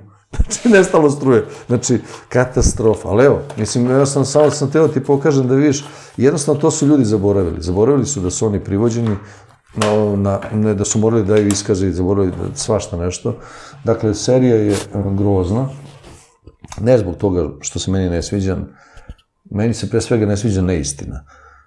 Kada slušam te istorijske ili ne znam ovakve onakve neistine, ja reagujem, naravno, ja sam sad mali, naravno, nisam ja niko i ništa, što bi ja, mene su zvali tamo pre snimanja te serije da porazgovaram s njima, ja sam i tada rekao neke detalje, nešto, ka, šta, kako je to stvarno izgledalo. I pitao sam i zašto ne respektujete suđenje. Jer je sud, e, kakav god da si ti, kako god, šta ti misle, sud ipak utvrdi neke činjenice. Tamo je preko sto ljudi dalo izjavu. Bili su gardisti, bile kobre, bili mi, pripadnici Ministarstva unutrašnjih poslova, uprave za obezbeđenje. Bio predsednik, bila njegova supruga, bili kuvari, кувар кој е кувал кој Тита и кој Гадафија се затекал тоа те ноќи. Миша Мракич, па се биде... Сви се они дали изјави на суд. Па знаеш, тоа е, то е, како ти кажам, тоа то е широк еден спектар луѓе. Имаш безбедњака, полицајци, имаш безбедњака, војника, mislim, vojnih lica, imaš bezbednjaka ovih, onih, pa onda imaš kuvara, konobara, pa onda, ne znam, imaš ovih baštovana, pa ne znam, svi zatekli bili zatečeni tamo. Ali susret Legije i Slobodana Miloševića bio onakav kakav je opisan u seriji? Pa eto, ako si gledao TV Happy, ovaj, da ja uporno eh, i sa, i sa nekim ovde, ovaj, Boran Drakulovićem ili sa već nekim likovima s kojima sam tamo govorio na Happy televiziji, ja bre, kad sam razgovarao s Legijom, nisam vidio nikog oko mene, ovako. Nikog bre nema. I sad jednom neki pričali s legijama, pa pitam, ba, de, de, de ste bre to pričali, razumeš, mislim, jer ni stvarno nisam vidio nikog. Stvarno mi sad stojimo, onda tu frka bila, pucinjama bre, bila bre, druže, nije to, sam ja pričao bre, to, taj čovjek bre, bi da se zajebavamo bre, koja je legija bre. Da li bi sad neko smeo da ode tamo kada on šeta u dvorište mu kaže, e bre, Petra, dođemo ti nešto kažem, razumeš. Da da li je to moguće, da sam da li je to realno. I sad ja kažem, mislim ti u jednoj situaciji gde smo mi već zakuvali, bre, da je razmena vatre bila, čoče. Sad mi tu, ovo ispred, znaš, ovamo, on, ono stvarno puši čovjek, razumeš, tamo nervira se, drž ne da i uše unutra, pozvali su ga, mi sad, ovo, ipak je to bilo, ja sam tu bio kao neki tampon, ovaj, i ovaj, e, tampon zona, ili onda on uđe unutra i tamo je Bora Drakulović bio, bio, bio, ne znam, Minja Milovanović, ne znam ko je bio unutra, sve ovaj... I, i, I šta su tamo pričali, ja posle sa njim ovamo, pa onda ubacio Žiku Igića preko kapije, pa to prebacivanje, sva televizija snimila i ja vidim samo kako tonem sve dublje i dublje, kako, kako će u stvari završiti u zatvoru zato što radim svoj posao, ne znam, ne znam, ne znam zašto. A nije bilo stvarno nikog, ja ne znam ko su ti ljudi, ko su ti likovi, gde su oni to pričali s njim. Znam da je, da je ovaj Sentin zamenik išao tamo pa sa Pavkovićem dogovarao kako to da oni to nešto tamo reše, meni tu žao, pravo ti kažem, i, i njega, i Lukića, i Pavkovića, sve trojice mi žao, mislim, jednostavno nesretnici nekog vremena. Sad, naš, ja kad dođem ovde kod vas pa nešto kažem, to se nikom ne sviđa, ta istina, oni imaju svoje neke, gde su heroji, gde su junaci, gde ovde, ona, o, završen čovek u, u Hagu, jebi ga, razumeš? Pored svih tih njihovih kombinacija, naš. Dobro je bar nije ubijen, ajde. Pa imao je tamo šansu da kaže nešto, ja sam to odmah rekao, to je, to je srećno, Ovo, još ja vičem dobro je da je ode do Haga, rekao tamo, bar kad dođe o televiziji, ovo mi je vaše majku, šta, dobro, koji, pet, koji si ti, kao, znaš, ono sad, svi smo neprijatelji. Ali dobro, stvarno sam to mislio, mislim i sada da je, da je dobro, da, da, da, da, da ipak izgovorio toliki broj istine, on toliko dugo je čutao i nije dao te neke, kao uči svaki dan te neke naj, ne, neke najveće istine od, od sveta i veka, pa od dinosaurusa pa na vamo, pa ne znam, pa drž, pa ne daj, pa su sve razume, pa i u štipke, pa i u i u avione ratne, pa i u, koji, pa i u namensku industriju, pa ne znam, ona nije slobo bio takav zaista. I ovaj, imali smo tu, ovaj, kažem ti, tu priču da, da ja jesam stvarno me to, eto, kad već na kraju to, mora na kraju to pitanje da bude, ja, ja sam bežao ovaj, da, da, da ne, ne razgovaram o tome, ali bilo je grozno, mislim, stvarno je bilo grozno, ovaj, uh, uh, ti sad imaš protiv sebe Pa ceo svet. Sjedinje američke države koje su tu, vidiš ih u akciji. Ja pre toga pokušavam sa, sa da se vidim sa predsednikom Jugoslovenske levice za Beograd, Đorđe, Đorđetom Popovićem, kao prijateljem, mojim drugom, poznanikom, drži tamo kafe kafe, drži jednu kafanu koju sam volao da, da popijem kafu, da se vidim sa njim, on mi saopštava da će Legija da čim ti neko kaže da će Lega nešto da radi, to je krvi do kolena, mislim, razumeš, on ne radi ništa ovako, bile, ako se sećaš, ona situacija u Račku pre NATO agresije, gde je recimo Guri tamo, Radosavljević nešto, ja, nešto, ja, to, vidi, to je kao, recimo, kad Čiča od 90 godina hoće da, da pokaže Angelini Jolie šta je muškarac u krevetu. Pa to ne, to vidi, povraća jedno i drugo, to je katastrofa. I onda dođe Legija, otera tamo, gurija mrš pičku mater, šta ti tu i u Račku ovaj, podeli doručak, ovo ono i do popodne sve završi. Znači, on je bio takav, znaš.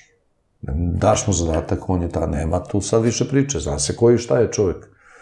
A bi ja, bilo žao, stvarno. Pa ne znam, ja mi, mislim, znaš koji, sad bi bilo glupo da ja sada a, a, govorim u Balkan Info šta je govorio Legija. Mamo, mislim, e, neću to da pričam na kraju krajeva. Jedino šta je rekao, što mogu da kažem i da bi se on složio sigurno, svaki dan, drugi, treći, ja sa njegovim kumom popijem kafu.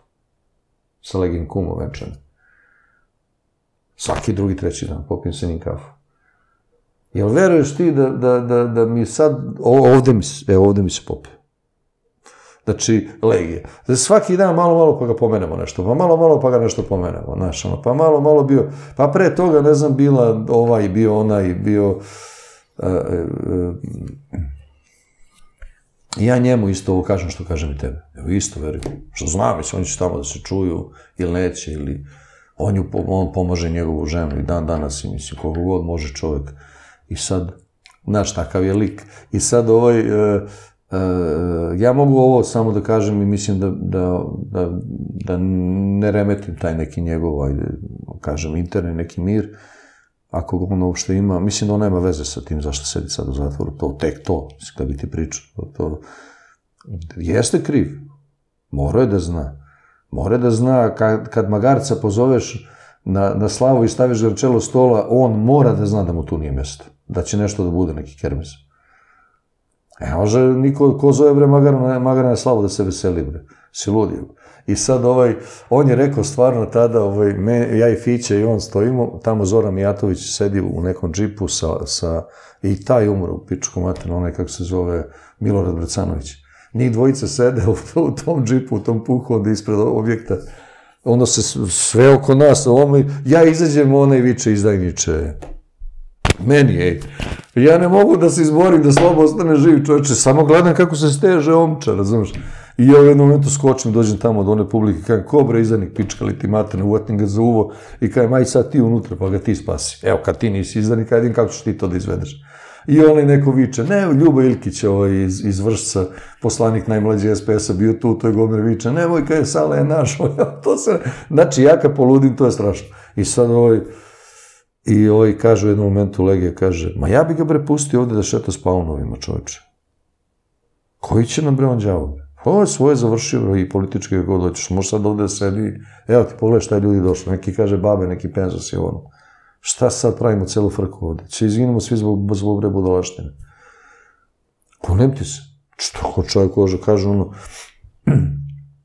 Fića isto tu sa njim kaže, jebi ga, naš, nije u redu, ovo nije u redu, ono, i dobro, mi uglavnom tu nešto, i stvarno smo doneli odluku da, da, da, da, da, da, da slopimo neko primirje, da Legija ne upada kao pripadnik jedinice specijalne operacije u onom maniru antiterorističkom tamo sad, pa tu nešto pucnjava. Pa kajem, bre, i ovi iznutra, znači ovi iznutra kad počnu da rokaju, oni i straha ima da puci. A ne iz toga što su spremni da, da došli ovde da ubio nekog. Vi, vi ćete da krenete zato što me neko naredio i na kraju, vrate, kad počnemo da brojimo žrtve, jao majko, kogod se od nas pojavi na sudu. Jer kad ti dođe one žene u crnini, razumeš tamo i kaj, ubio si mi dete, ono, a vojnici na služenju vojnog roka mi unutra u objektu. Unutra, čoveče, u, u objektu.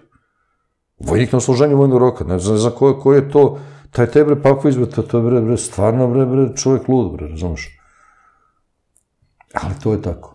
Bio Pero Kovačević, neki komandant bezbednosti, ovaj šef bezbednosti gardijske brigade, jedan divan čovjek s njim, nego i njega negde odvukoše tu, nema ga, znaš, onaj Ćosić, ja nekak, nikad u životu nisam video, on ne zna gde brate, ne zna šta ga je snašlo. Legija, koji opet ima taj renome koji ima, razumeš, mi koji tu sad ne znamo što ovaj, promenili na 16 šefova, viče, ovaj viče, ja sam ti sad načelnik, on viče, ne, ja, ja sam ti. Ona, ja pitam, dobro, da mi nisu drži posla? Daj ne pošalje dopis da, da nas skida odavde. E, pa kao ne može. Znači, hoćete frku, jebi ga. Nije to. Haos, to. Pa ne, i to ti je, znači, jedva smo se iskoberali, jedva. Ja ne znam kako smo živi ostali. Ja se sećam samo, ja sam došao kući, zbrisao negde par dana i ne, ne vredi. Znači, ne znam, kumčetu mi bio rođendan, slavi se, ovaj, malo dete, tek se rodilo, možda godinu dana, ne znam šta je bilo. I u onome McDonald'su na terazijama ja odlučim da dođem znam ja sad šta me čeka i ovaj, i tu ovaj, kreće cirkus, mislim, zvoni mi mobilni, a pono, naravno, uključujem mobilni, šta sad, aj kao izađi napolje. Ja kao, ko je to, izvinite, e, vremo se preći blesa, nego izađi napolje, ono, stoje tamo dva Audija crna unutra, pljas, dole, 29. Boško Buha me primio i onaj Karleuša Nemagarac, kaže Boško jebi ga, tako i tako, tu su bili Miša Potkrajac, ne znam koliko nas bilo tu fića, ja mu kažem, vidi Boško, ti samo možda pričaš što hoćeš. Ja ne želim s vama da imam ništa, za mene ovo kraj karijere u MUP-u, jednostavno ne želim, jednostavno posle svega ovoga i ovo što vi dalje nastavite da radite nije dobro. Vi ćete potpuno urnisati, ovaj, urnisat ćete bre službu skroz. Ali ovaj, šta mogu da ti kažem, da ti nećeš živi dočekati moje suđenje. Jer ja tačno vidim s kim si se uvrtačio i šta radiš. I evo sad, evo javno kažem, evo ovaj, na nekom mediju, ovaj, da jednostavno to kad sam rekao njemu, i pazi, ova optužnica što se sad pokazuje, još nije bila podignuta protiv mene, on je ubijen ispred hotela Jugoslavije. E, znači, jednostavno, meni, meni, meni to više bilo šokantno kako on to nije primetio, da šta se sprema. Ali dobro. Mislim, ušte ušao ko su ti likovi, kako to, na koji način funkcioniše. On je sve to morao da zna. I meni je bilo lakše posle, pravo ti kažem, kad nema MUPA, to suđenje je trajalo 10-11 godina, onda su me oslobodili, samo sam džabe probao 11 godina tamo po Palati pravde, izgubio 11 godina najboljih svog života, za to vreme sam školovao decu, sin mi je policajac. Odmah ti kažem da nisam bio srećan kad je to poželo i sve sam pokušao da tu nešto smuljam, ali ne, ne vredi, to je kosmička, ta neka gene su, gene. sila, da, da ne pričam da je radio, mislim, samo šta je radio, to sad, verovatno bi se on ljutio kad bi rekao. Ovaj, I, eto, ja tu gde jesam, ti si tu gde jesi, država nam je tu gde jeste u, u, u kanalu, smo svi, ja mislim, mali, manje ili više, um, um, naravno da na Kosovu ne može ništa da se promeni, to sam ostao dužan da ti kažem, dok se ne promeni rezolucija 1244, ona će ostati naše. Rezolucija 1244 mogu samo da promene Sjedinje američke države, Velika Britanija, Francuska, Kina i Rusija konsenzusom. Znači, ako svi sednu i kažu može. Nijedna druga kombinacija ne, ne može. Mi se tu ništa ne pitamo. Jedan dan pre nego što je donešena rezolucija 1244, mi smo potpisali kumulovski sporazum koji je prihvatanje da će sutra dan biti doneta rezolucija. To je morao da prihvati NATO pakt. To je u Kumanovu. Znači, prihvatanje, znači dan ranije su zaraćene strane u Jugoslaviji morale da prihvate rezoluciju 1244, dan ranije, da bi bila doneta. I to se desilo u Kumanovskom sporazumu. Znači, dan ranije NATO pakt prihvatio da će, i to, veri mi, sada pitaš nekoga šta je sporazum, nema bi pojma. Pojma nemaju. Evo koliko puta to čuo do sada. Drago mi je da smo, da, da, da ovo poslednje pitanje mi je stvarno bilo onako naj, najbitnije. Pa ništa ti ja neću što- reći drugačije što sam govorio ni drugima svoje vremeno kad sam bio raspoložen za priču. Ja sam ti rekao za Slobodana Miloševića da je sin srpskog pravoslavnog sveštenika, sveštenika Srpske pravoslavne crkve. Njegov otac je bio najbolji a, drug za vreme studiranja Gojka Stojičevića, koga mi poznajemo kao patrijarha Pavla. Niko nije preživio teror komunizma kakav je preživio a, Slobin otac. Niko, da ja znam. Ili je mogao da bude ubijen, ili je mogao da preživi samo takav teror. Da ostane, da mu rasturi porodicu, da su ga raz, rašarafili, prognali, proterali, da su ženu, ne znam, u Požarevac, njega u Bijelo polje, tamo, predavao ruski jezik i na kraju kad mu je taj učenik, ovaj, Svetozarev, ovaj, izvršio samoubistvo zato što su mu dali neke slabe ocene pa nije mogao da završi razred, on je tada izvršio samoubistvo. Više to je bilo ona tačka preko koje nije, nije mogao da pregura. Tako je završio Slobin otac. On je kao čovek, eto vidiš, koliko se borio, šta se borio. Sem pljuvačine, jedne permanentne, nisam čuo ništa za njega ovako drugo, što dosta ovako govori o nama kao narodu i o nama kao ljudima, ovo što ne respektujemo činjenice. Ne respektujemo šta je ko uradio.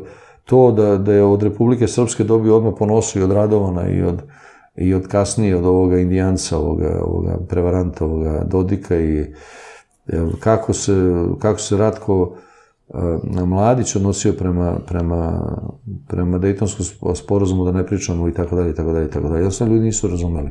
Ti politički proces, a, ako ne razumeš, ako ne razumeš, ovaj, kako ćeš da razumeš onda političku tehnologiju? Kako ćeš da razumeš nešto, kako ćeš da razumeš sada princip rada unutrašnjeg sagorevanja ako ne znaš šta su klipovi, šta ovo, šta ono, ne znaš ništa, onda kako ćeš da razumeš? Nikako.